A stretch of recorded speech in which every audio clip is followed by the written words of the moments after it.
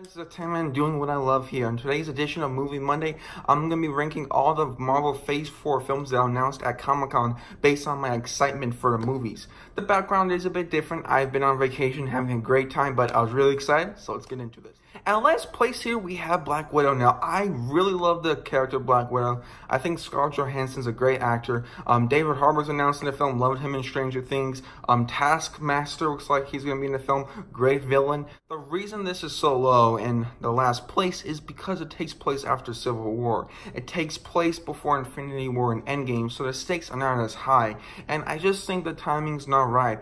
I, like I said, I like Black Widow as a character, but I feel like I kind of like what they did for Age of Ultron and Civil War. And I feel like if they had a movie, maybe Phase 3 or Phase 2, that's kind of when the prime was. That's kind of when the Black Widow hype was. Like, people loved her as a character, you know, her in introduction Iron Man 2, her in Avengers was really cool. I just don't feel like this is the correct time. I just don't like the area this is taking place. So, yeah, I mean, cool cast, but just for me, the time and hype is not there as it once was. So next up we have Eternals. Now, I, this cast looks great, and I think the idea of these all-powerful beings could be cool, but I do think there's a couple of issues. Number one, there's a lot of characters in this film. I think sometimes, yes, Marvel has handled a lot of characters like in Infinity War, Endgame, Civil War, but most of those characters in those films were established before. I just think Eternals, with all these group of people, that can be really confusing and hard to keep track of. They did that in Guardians of the Galaxy, but they don't have James Gunn attached to this project.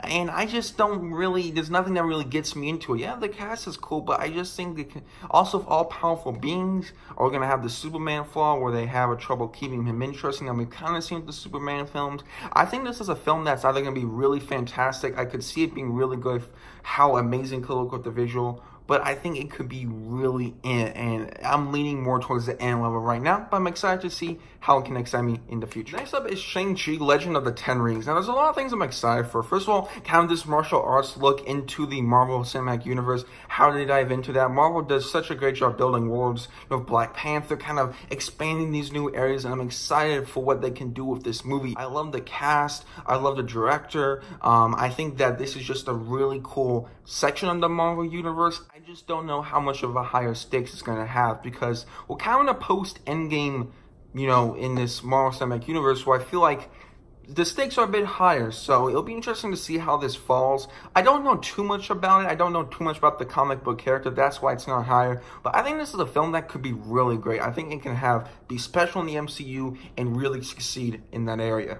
Next up is Thor Love and Thunder. There's a lot of things I'm excited for, and that is how does the director Taika Waititi handle that of Natalie Portman. I think this film's gonna rest a lot on her. I think he made um, Chris Hemsworth as Thor really interesting up until Ragnarok. I'm like, Thor is okay, but Taika Waititi comes Ragnarok, love that film, made Thor a great character. Tessa Thompson was amazing. Ragnarok, glad she's back. I just think in the first two Thor films, Natalie Portman was the weaker link in those movies.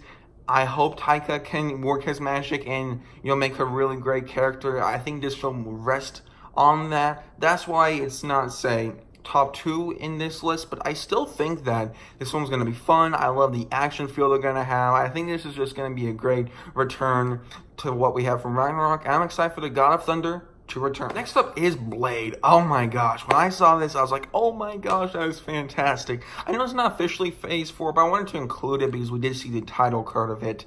And man, I am just pumped through the roof about this. Marshall, Mahershala Ali, um, sorry if I'm pronouncing his name wrong. I loved him um, in Spider-Verse as Uncle Aaron. I think as a Prowler, he was one of the best villains in Spider-Verse. And that, you know, Spider-Verse had a ton of characters, so standing out is really fantastic to do. Um, I'm just excited to have Blade back. I think that Blade, I've kind of seen people discuss, it kind of has us, you know, there's a lot of fans of him, and he's a really cool character. I just think having him in the MCU is really fantastic. I just think it's cool how they brought him back, kind of like how they did with Daredevil. You know, the original Daredevil film with Ben Affleck wasn't that great. They brought him back for the TV show, fantastic. The Blade films, in most eyes, are pretty fun movies, and I think the MCU can just deliver a really fantastic version of Blade. I'm excited to see what they do with all the elements of him. It's just a film that has me really excited, but it's not number one. And number one is Doctor Strange and the Multiverse of Madness. First of all, one of the things I'm excited is um, Elizabeth Olsen and Scarlet Witch. I think Scarlet Witch has been one of the most underrated characters in every movie she's in.